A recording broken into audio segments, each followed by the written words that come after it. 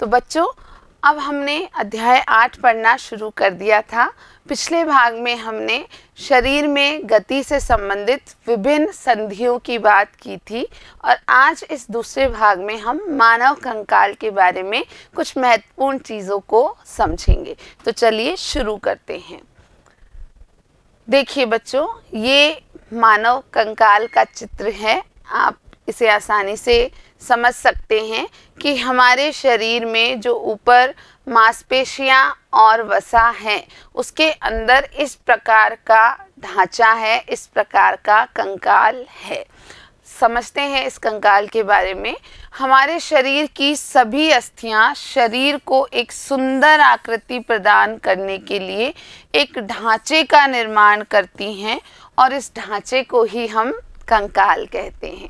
तो साधारण बात है बच्चों कि विभिन्न अस्थियाँ जो हैं एक विशेष रूप से जुड़ी हुई हैं और एक आकृति का निर्माण करती हैं। इसी आकृति को हम कंकाल कहते हैं। यदि एक्सरे चित्र का उपयोग किया जाए तो इन एक्सरे चित्रों से हमें शरीर की सभी कठोर अस्थियों की आकृति का पता चल सकता है।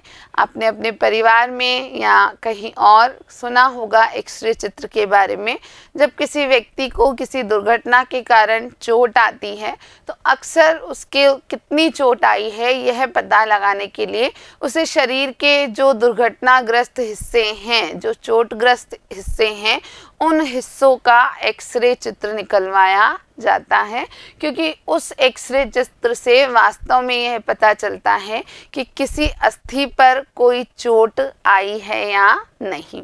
आगे चलते हैं बच्चों। मानव कंकाल के जो हिस्से हैं, कुछ महत्वपूर्ण हिस्सों की हम बात कर लेते हैं। तो जैसे हमारी कलाई है, हमारी जो ये कलाई वाला और हाथ वाला पूरा हिस्सा है। ये अनेक छोटी छोटी अस्थियों से बना होता है, यानी हमारी कलाई कई छोटी छोटी अस्थियों से मिलकर बनी होती है। और इन अस्थियों को क्या कहते हैं बच्चों?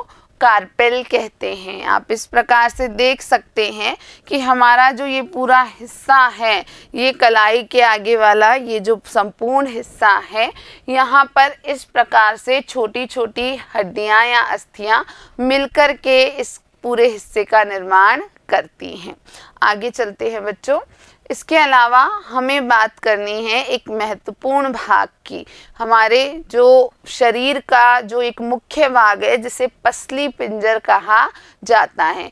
आप यदि एक सामान्य गतिविधि करें तो आप बहुत आसानी से पसली पिंजर को समझ जाएँगे। आप अपने शरीर के ये वाले जो हिस्से हैं, ठीक है? इन हिस्सों पर इस प्रकार से थोड़ा सा गहराई से दबा करके देखें तो आपको कुछ कठोर सा महसूस होगा प्रतीत होगा। आप दोनों हिस्सों में इस तरीके से छू करके देख सकते हैं बच्चों। तो हमारी पसलियाँ वास्तव में ये जो आ, हिस्सा है वो किससे बना होता है? पसलियों से बना होता है। हमारी पसलियाँ विशेष रूप से मुड़ी होती हैं।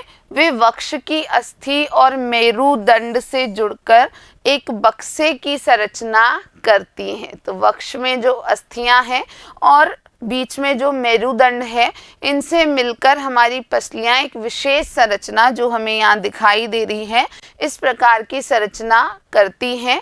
और ये संरचना जो है, ये शंकु रूपी जो बक्से का निर्माण हुआ, इस बक्से को ही क्या कहते हैं बच्चों? पसली पिंजर कहते हैं। तो यह संरचना हम सभी के अंदर पाई जाती है, यह हमारे कंकाल का एक महत्वपूर्ण हिस्सा होती है। वक्ष के दोनों तरफ़ बारह पसलियाँ होती हैं। आप ध्यान रखें कि इधर भी बारह पसलियाँ होती है और इधर भी बारह पसलियाँ होती है। आपके, हम कहें दाएँ और बाएँ दोनों भाग में बारह बारह पसलियाँ पाई जाती हैं। हमारे शरीर के कुछ महत्वपूर्ण अंग इसमें सुरक्षित रहते हैं। आप जानते हैं कि हमारे शरीर में अंदर भी कुछ अंग हैं, जैसे हृदय एक महत्वपूर्ण अंग है। हृदय के बारे में आप सभी कुछ ना कुछ ज़रूर जानते होंगे। और हृदय वास्तव में इस पूरे हिस्से के अंदर की तरफ़ एक विशेष स्थान पर सुरक्षित रहता है। अन्य कई हिस्से भी इस पसली पिंजर के अंदर सुरक्षित रह पाते हैं। आगे चलते हैं बच्चों। इसके बाद हमें इस आकृति को अच्छे से समझना है। आपको करना क्या है? एक छोटी सी गतिविधि करनी है। वो ये है कि अपनी उंगलियों को अपने मित्र की गर्दन से प्रारंभ करके उसकी पीठ पर नीचे की ओर लाइए आपके मित्र की गर्दन वाले हिस्से से लेकर के आपको पीठ तक के हिस्से तक अपनी उंगली को इस प्रकार अच्छे से छूते हुए लेकर जाना है। तब आपको जो अनुभव होगा, जो संरचना आपको महसूस होगी, वो संरचना ही क्या कहलाती है बच्चों? मेरुदंड कहलाती है। तो कुछ इस प्रकार की संरचना होती है। आप यहाँ देख पा रहे हैं, ये गर्दन से शुरू होती है और पीठ से बिल्कुल नीचे वाले हिस्से तक यह जाती है। ये जो मेरुदंड है, यह अनेक छोटी छोटी अस्थियों से बना होता है और इन अस्थियों को कशेरुका इन अस्थियों को कशेरुका कहा जाता है। और वास्तव में हमारे मेरुदंड में कुल तैतीस कशेरुकाएँ होती हैं।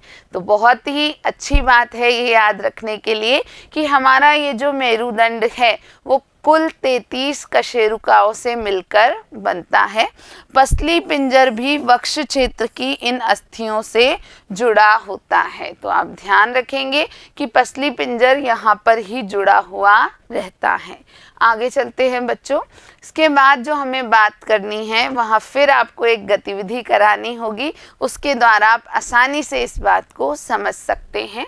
करना क्या है कि अपने मित्र को खड़े होकर हाथों से किसी दीवार को धक्का लगाने के लिए कहिए। आप अपने मित्र को देखिए और उसे क्या कहिए कि वो किसी दीवार पर अच्छे से धक्का लगाए, ठीक है? उस पर धक्का लगाने के दौरान बहुत आराम से ज़ोर लगाना है, ताकत लगानी है। अब उससे कहिए कि वह अपने हाथों से दीवार पर धक्का लगाने का प्रयास करे। और ऐसा करने के दौरान, जब आपका मित्र ऐसा कर रहा होगा, उस दौरान आपको उसके कंधों के समीप दो उभरी हुई अस्थियाँ दिखाई देंगी। यहाँ पर आपको दो उभरी हुई, बहुत ही अच्छे से उठी हुई अस्थियाँ दिखाई देंगी। और इन्हें ही क्या कहते हैं? कंधों की अस्थियाँ कहते हैं। यहाँ चित्र में आप देख पा रहे हैं, ये जो अस्थि है, ये क्या कहलाती है? कंधों की अस्थि कहलाती है और ऐसी संरचना आपको दोनों कंधों की तरफ़ दिखाई दे जाएगी। इसके बाद हमें बात करनी है श्रोणी अस्थियों की। जो चित्र में दिखाई गई संरचना है, इसे क्या कहते हैं? श्रोणी अस्थियाँ कहते हैं। ये बॉक्स के समान ऐसी संरचना बनाती हैं जो आमाशय के नीचे पाए जाने वाले विभिन्न अंगों की रक्षा करता है। आपका पेट या आमाशय उसके नीचे भी शरीर के कुछ अंग पाए जाते हैं और उन अंगों की रक्षा कौन करता है? ये जो श्रोणी अस्थियों की संरचना है, ये ही उनकी रक्षा करती है। अब वास्तव में यह क्या है?